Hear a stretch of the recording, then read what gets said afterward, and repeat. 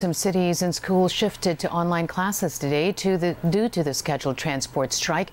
Government, for its part, belittled the effects of the protest action. Liza Aquino filed this report. Currently here in Philcoa in Commonwealth Avenue in Quezon City, and as of now, it's still business as usual in the area. We can still see a lot of PUV vehicles, particularly the jeepneys over here servicing our passengers. I also received an update from the local government unit in Caloocan and in Manila, they have not reported any stranded passengers in one of their major thoroughfares in their respective cities. Manibela President Mar Valbuena initially announced that they will push through with a scheduled strike today protesting the Public Utility Vehicle Modernization Program after certain officials allegedly blocked the negotiation meeting at Malacanang. He added that at least 500 routes out of the total 785 routes in Metro Manila will join the transport strike. Meanwhile, different local government units are ready to deploy additional buses and vehicles to areas which will be affected by the said strike. Some local governments in Metro Manila also announced that in-person classes will not be suspended in their respective cities. Interior Secretary Benhur Abalos also gave assurance that there will be no transport paralysis today as 95% of transport groups will continue to operate. Just the same, ang buong pamahalaan po ay naghanda muli para po kung sakaling magkaroon nga po ng disruption sa pampublikong transportasyon, tayo po ay nakahanda. Uh, meron na po tayo mga naka-preposition na mga uh, sasakyan para po kung sakaling meron po tayong mga kababayan na ma-stranded, ay matugunan po natin at mabigyan po natin sila ng masasakyan. As far as we are concerned, as far as we are concerned, there is no reason. Number one, 95% ng lahat ng transport group ay kasama natin at sila po hindi dadalo. Number two, nakaagapay ang kapulisyahan. Number three, may magandang plano rito. Ang Central Monitoring Team will be MMDA.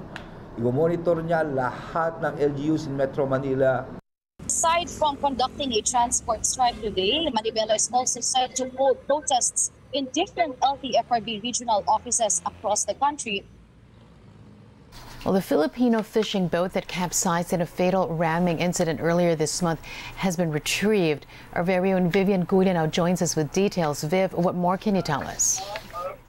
Hi, Carmina. The ill-fated fishing boat Dearyn which was rammed by a foreign vessel off the waters of Pangasinan early this month, has been salvaged and is currently moored here at Subic, Zambales. The ramming incident killed the boat captain and two crew members. 11 survived. Philippine Coast Guard Vice Admiral Joseph Coimes says the retrieval operations took around a week from the aerial survey to salvaging the capsized FB Dearyn. He admits that the PCG has no capability for salvaging operations yet. That is why it was done with the assistance of an accredited salvor company. Clemens says the recovered fishing boat will be a huge help in PCG's investigation into the incident, which it hopes to complete within the week. But he noted that based on their initial investigation, there is strong evidence that it was MT Pacific Anna that alighted with FB Dearyn early this month. Columbia says MT Pacific Anna was registered with Marshall Islands and that they already sent communication regarding the incident. Marshall Islands, says, gave assurance that they are also conducting a separate independent investigation and that they intend to conduct an ocular of the recovered fishing boat anytime soon. Family members of the victims and survivors also came to the site where the boat was moored some were emotional upon seeing the fishing boat. They called for faster investigation into the maritime incident and additional assistance from the government as their family lost their livelihood.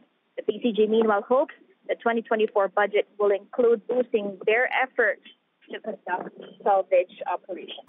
Soldiers will be deployed to polling precincts during the upcoming village and youth polls in Negros Oriental, where some places have been tagged by the Philippine poll body as areas of concern. Our very own Annie Perez now joins us with that story. Annie, over to you. Yes, Carmina, that's right. This information was revealed to us by Commission on Elections Central Visayas Regional Director Attorney Lionel Mark Castillano. Castillano said that this is the first time that they will be doing this because before, the military are only part of the quick response team. This time, they will be deployed together with the police in every voting center in the province. He attributes this to their observation during the public hearings across the towns and cities regarding the supposed postponement of the elections. They heard from residents that when both the military and police are visible and are working together, people will come out to vote and that they will be assured of their safety. Negros Oriental is currently under COMELEC control following the murder of its governor, Roel Degamo, last March. Castillano also said that they are yet to receive additional guidelines from the COMELEC en banc regarding the operations of the election, which is under their control. For their part, the Philippine National Police in Central Visayas said over 500 policemen and soldiers were already sent off last weekend to secure the province. They were initially sent for the security of the Buglasan Festival, which will be held on October 22, but their deployment will continue section. Out of the 534 personnel sent, 120 came from the Regional Mobile Force Battalion, 97 from the provincial headquarters, and the others from different offices. 10 members from the military were also sent to the Buglasan Festival, as well as 31 personnel from the Bureau of Fire Protection. Police Colonel Noel Flores, the Deputy Director for Operations in Pier 07, said uh, apart from this number, they will also add 300 more men to the province for its security for the elections. 1,700 soldiers from the Visayas Command will also be sent, as well as members of the Philippine Coast Guard. Carmina Negros Oriental has over 500 voting centers, and there are nine which are under the areas of concern. Eight is considered orange due to the presence of an armed group, and one is considered yellow due to intense political rivalry. And that's the latest here from Central Visayas. Annie Perez, ABS-CBN News. The website of the House of Representatives expected to be back online within the day after it became the latest government entity to fall victim to hackers. Let's get an update on the ICT department's efforts to address recent cyber attacks from our very own Andrea Taguines. Andy, over to you. Yes, Carmina, the House of Representatives is the latest government institution to have their websites hacked. The DICT says they are already investigating whether any data, sensitive or otherwise, was extracted by the hackers. But so far, what they're seeing is that it was only a defacement of the website and that the hackers may have just been trying to show off their skills. In a radio interview this morning, the lower house's Secretary General Reginald Velasco said that based on the investigation conducted by their own IT team, no data was compromised since they don't really keep personal information of officials or Congress workers on their website, just information about bills and legislation. Velasco said they expect the website to be up and running again within the day after they temporarily shut it down to stop any other unauthorized access. Actually, na na-solve na po namin, nalaman na po ng IT team namin kung anong problema. So, ang report nila sa akin ay uh, we are currently on the configuration stage. Mm-hmm. We already mitigated the situation. Nakita po nila na hindi naman po nahakang any information, no? Ang term po dyan ay parang dineface lang, binaboy lang po yung uh, website. For one expert, the recent hacking showed just how vulnerable government agencies are to cyber attacks. It seems to be more alongside the what we're calling hacktivism. Uh, they're trying to make a point. Uh, for example, the House of Representatives had a message uh, that they said you have to secure your systems. So we're trying to figure out if this is some form of hacktivism to to show how badly the government is doing in terms of their cybersecurity. It sounds like uh, some uh, we have downplaying the incident. Yeah. Uh, the data is not sensitive. The data is old. I think it's a, re- a culture that we need to change. The data is very valuable. Carmina, when we interviewed DICT spokesperson ASec Renato Paraiso during today's Hack for Gov event, he also said that based on the language that the hackers used um, for the HOR website breach, since some words were in Filipino, they suspect that these are local threat actors. He added that the DICT's National Computer Emergency Response Team has also given recommendations as to how the lower house can strengthen its digital platform and prevent future hacking incidents from happening. But Paraiso says some of the data being leaked or news of hacked websites, when they looked into them, they realized that these happened in the past. Just from the wordings alone dun sa uh, defacement ng uh, website ng House of Representatives, it was in Tagalog. So we highly suspect that these are local threat actors. The timing is suspect, pero ang nakikita namin, marami rin ho talagang nananamantala ng mga individual na nagpapalutang na nahahack nila yung mga ganitong mga websites. When in truth and in fact, these data that they're floating are uh, from previous uh, incidents regarding hacking. Uh, some as far as a few years back.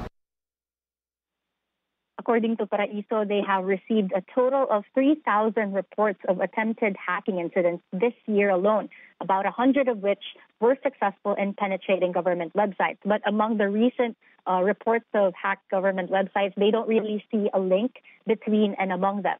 And while the DICT is trying to look into all of these, he also admitted that they very much lack the manpower to do so in a timely manner. That's why DICT Undersecretary Jeffrey Dy also emphasized the importance of events like Hack for Gov, which is a cybersecurity competition sponsored by the DICT for college students to train more local talent and the youth in dealing with and countering cyber threats and hopefully inspiring them to serve in government when they graduate. Bit of good news for motorists. A fourth straight oil price rollback that's set for Tuesday. Diesel and kerosene prices will go down by 95 centavos per liter, but gasoline prices will see a 55 centavo markup.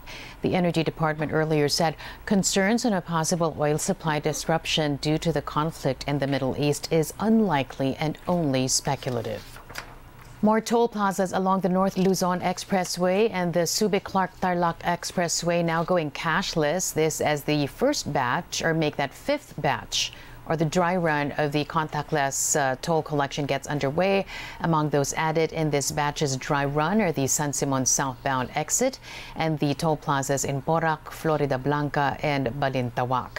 Additional per traffic personnel were also deployed to facilitate the installation of RFID stickers. Pwede din mismo sa lane po, ano, no, mabilis lang naman po yung pagkakatip. May isang minuto lang po yung ano. So, uh, prior doon sa pila, meron na rin po itong uh, form na binibigay. No? At least 80% of the toll gates in the North Luzon Expressway have been implementing cashless uh, toll collection. Meanwhile, those passing through SCTEX will see additional toll fees ranging from 25 pesos to as much as 191 pesos beginning tomorrow, October 17.